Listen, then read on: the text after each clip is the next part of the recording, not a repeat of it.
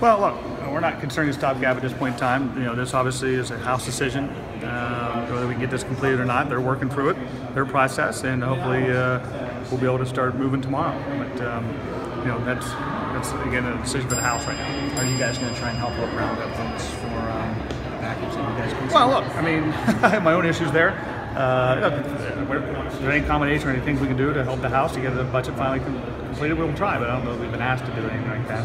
What does the tax package look like? Well, we have to put a final negotiation on that. We're going to meet this afternoon on that and uh, try to finalize that thing and then go from there. This meeting was really just to make sure we're all on the same page, there are no misunderstandings. This was a broad agreement uh, for something that's going to move all of us forward.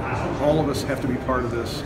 This is all of our budgets, and that's what this meeting was, just to make sure we have everything in place. Are you all on the same page? In the next 24 hours, I'm going to try and find the votes for the governor's plan that he supports, or it's a stopgap. I mean, the 24-hour deadline to me doesn't make much sense right now after waiting six months. We are going to go out and, and work and see if we can, you know, obviously we have been. We didn't know what the, what the tax uh, plan is, and I don't think we're quite sure yet.